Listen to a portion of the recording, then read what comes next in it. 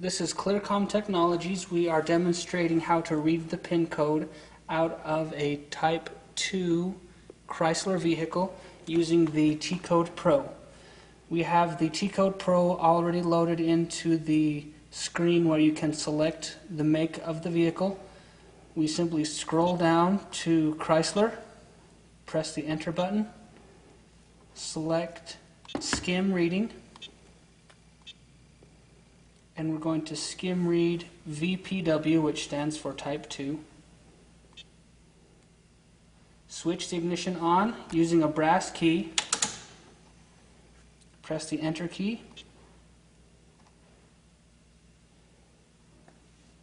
Press the enter key again. We want to scroll down to special functions and select enter pin functions since we are reading the pin number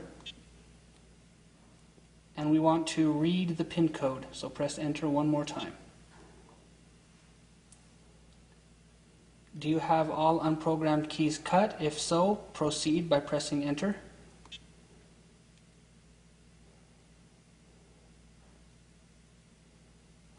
Okay, remove the key from the ignition. You need to turn the vehicle off and even though I already have a brass key inserted, I still need to remove it from the ignition, reinsert it, and turn it on.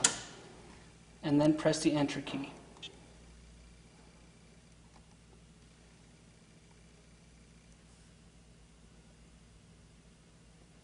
Now this process here is about a 90 second process, so we need to be pretty patient with it. Okay, now it wants us to turn the key, turn the brass key off and insert an unprogrammed transponder key and turn it on and press enter.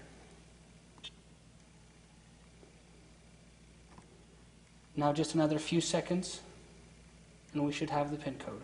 All right, and the skim code reads out as 4861 hit the enter button and now you can go back through and program the key using that pin code.